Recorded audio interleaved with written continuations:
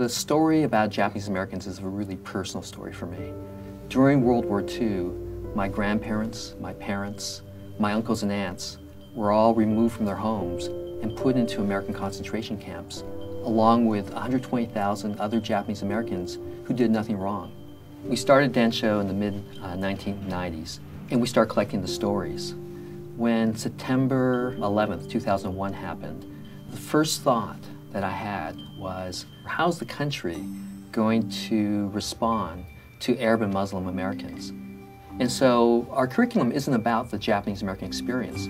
It's actually about constitutional issues. We can present information so that in the future, people can critically think about these things and, and do it from a base of knowledge and history rather than fear and ignorance.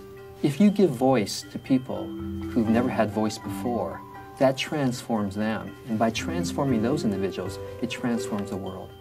When people ask me, why do you do the things you did?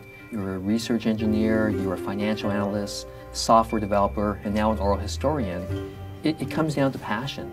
I, I, follow my passion. Our lives are really so short, and you know, we, we need to follow those passions.